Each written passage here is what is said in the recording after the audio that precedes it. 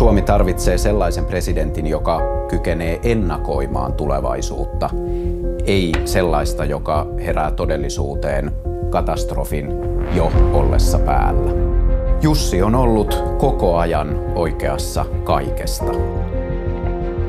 Maahanmuutosta, Venäjästä, Natosta, taloudesta, kaikista Suomen kohtalon kysymyksistä.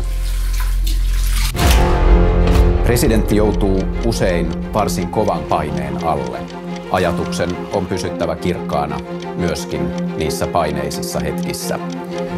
Jussi on yksi kylmähermoisimmista poliitikoista, mitä tiedän. Ja hän ei hetkeksikään unohda sitä, mikä on kaikkein tärkeintä.